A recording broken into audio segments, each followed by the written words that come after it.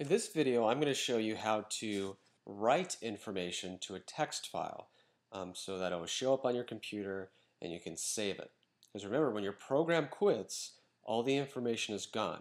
It, your program runs in random access memory, which goes away as soon as your program quits or your computer loses power. If you save information to a file, it should stay there as long as your hard drive is not corrupt and you don't delete it. So I'm going to take this program where we had been prompting the user for uh, a number for their age, and we'd written out their months uh, to the console so we could see it. But instead now we'd like to write that information to a file. The way you do that is you go to my website and there's a file you need. Under resources, it is called EasyWriter. So I'm going to right click on it, select Save Link As, and then I'm going to put it inside the SRC folder for my project. So let me make sure I'm in the right one.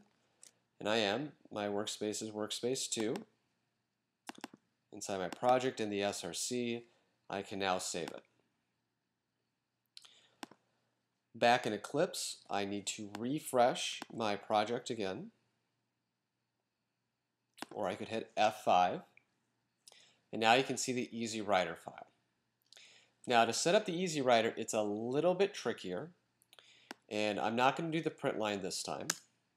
To set up the EasyWriter, you have to create what's called an EasyWriter object.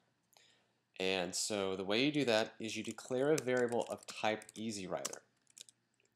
And I'm going to call it uh, FileMaker is my variable name.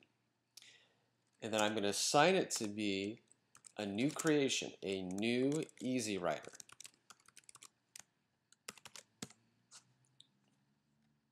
And what I also have to put in there is where I want to save the file.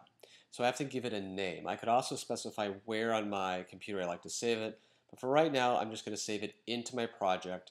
So I'm going to give it a name of months.txt. And hopefully if this works right, when I'm done, the number of months, that's 360 if I type in 30 for my age, should show up in that text file.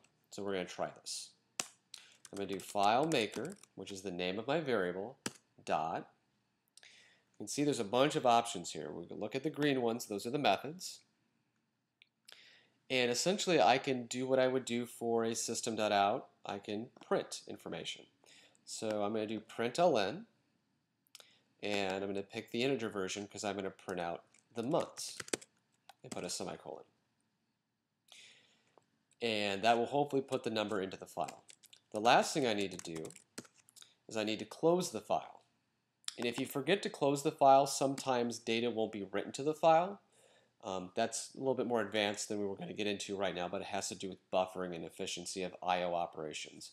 But just make sure if you write stuff to a text file or any type of file that you close the writer at the end. So let's try this and see if it works. I'm going to run my program. It asks me, how old am I? So remember, it's blocking at this line, waiting for me to do something. So I'll go ahead and type in my age, which is 30. I'm going to hit OK. And now it's done. The red box is over. That means my program is finished running.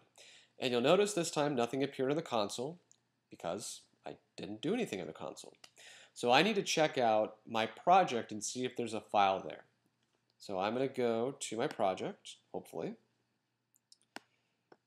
And I'm going to go to Documents for me. Here's my workspace. There's my project. And you can see that there's now a file there called months. I'm going to open it up. And you actually can see a little preview here. It's 360. It's a file that only has the number 360. Now you can put whatever you want in that text file. Put lots and lots of information. But now this information is stored on my computer, and as long as I have that text file, I will not lose that information, even if my program stops.